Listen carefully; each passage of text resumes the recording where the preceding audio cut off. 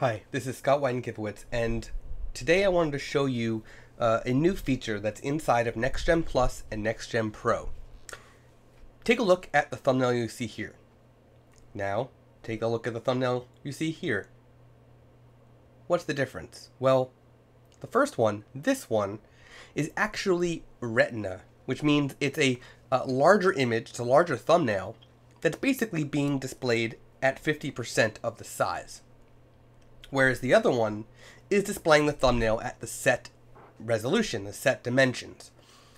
The way that this works is on devices that are Retina, it will actually load, or let's say an iPad or an iPhone or a new Android phone that is Retina or high uh, de- high uh, definition, um, or um, or a, a MacBook Pro, for example, um, anything that has a Retina display it will actually display the thumbnail at two times the size and shrink it down 50%.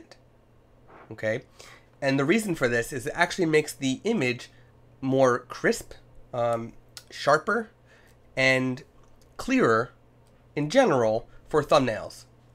Now, we did not implement this on full size images because when you're viewing an image full size, you're already viewing it full size.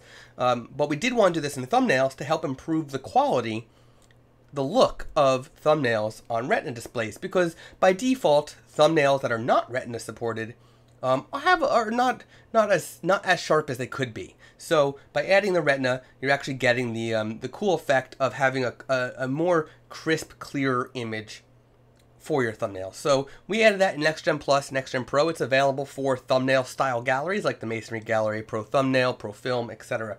Um, and we might add more support for it in the future based on feature requests from the customers. So um, thank you for those who requested this and been pushing and pushing, and we are so happy to have this out now. Um, you must be running the latest version of NextGen Gallery uh, combined with the latest version of NextGen Plus or Pro in order to take advantage of this on the Pro style thumbnail galleries. Um, so Retina is automated uh, as long as you have uh, backup original turned on and resize on upload turned on.